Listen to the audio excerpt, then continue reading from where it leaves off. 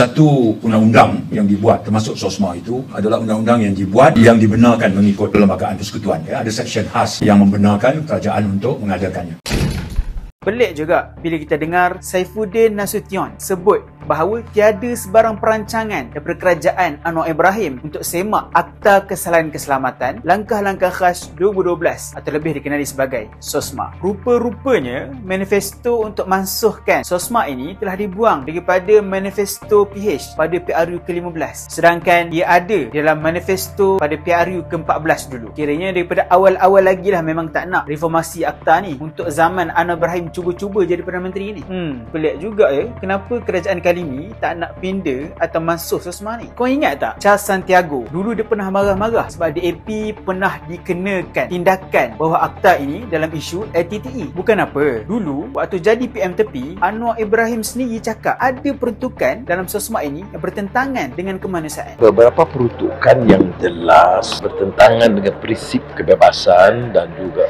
kemanusiaan dari segi due process ini ya itu harus dipindah oleh yang demikian kita zahirkan kegelisahan kerana cara tindakan dibuat berdasarkan undang-undang yang kita tidak setuju Abang Mat pun kata akta sosma ini perlu dikemaskini. Sosma tidak perlu dimasukkan. Bagi pandangan saya lah perlu dibaiki di masa kesempatan. Sebab sosma boleh disalahgunakan dulu digunakan terhadap Maria Chin yang hanya terlibat dalam himpunan bersih.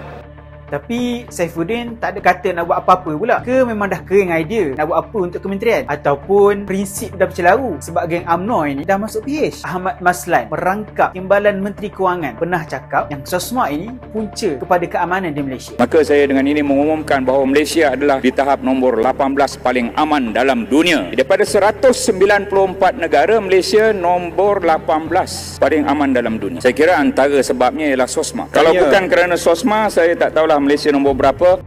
Dia sendiri pernah menggesa kerajaan untuk memperkenalkan semula Undang-Undang Keselamatan yang menjadi kontroversi sebelum ini iaitu Akta Kesalahan Keselamatan, Akta Pencegahan Jenayah juga Akta Pencegahan Keganasan. Dulu ada yang bantah SOSMA, POKA, POTA, Akta Hasutan. Tetapi telah terbukti akta-akta ini berguna untuk negara. Jangan disalahguna, maka teruskanlah kewujudannya. Semuanya dibuat ketika Bagan Datuk menjadi Menteri Dalam Negeri memenangkan maslan ini adalah timbalan Menteri Kewangan. Jadi kami rasa Menteri Kewangan akan bersetuju dan usulkan persetujuan dia kepada Perdana Menteri. Jadinya untuk PH yang baru ini, SOSMA yang sama, peruntukan yang sama. Dah okey ke untuk Anwar Ibrahim sebagai Perdana Menteri berbanding SOSMA masa zaman Anwar Ibrahim PM Kami harap Anwar Ibrahim boleh tolong jelaskan isu ini. Bukan apa, takut-takut DAP marah sebab duk diam je pasal isu ini. Oh ya ke tu? Relax, relax. Benda betul.